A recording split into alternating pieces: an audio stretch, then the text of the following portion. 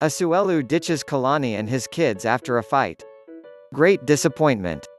On Sunday, July 5th, episode, the reality star Kalani responded to a fan's comment on Instagram discussing the state of her marriage.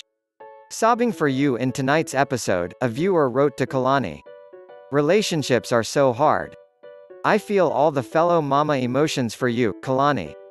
The mother of two appreciated the sentiment, replying, Thank you for saying that positively. Sending you lots of love. What was the reason for the fight? Kalani and Asuelu celebrated their son Oliver's birthday. They were off for a family trip to California.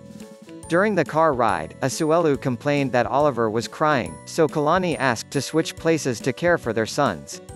Asuelu eventually agreed. Things got worse when Kalani asked how he was doing with the kids. He answered, I'm doing all right. It is effortless.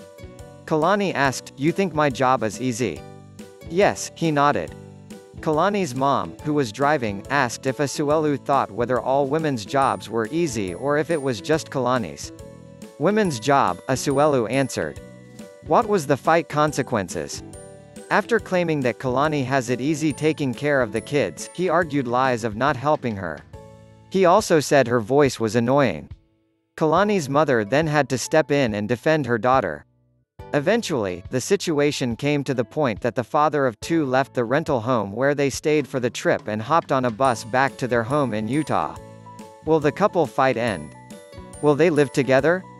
As they promised in the past, taking care of the children's and raising them playing the role that each parent does.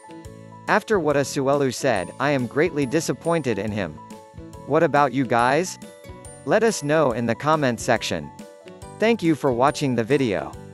Don't forget to like and subscribe to support us.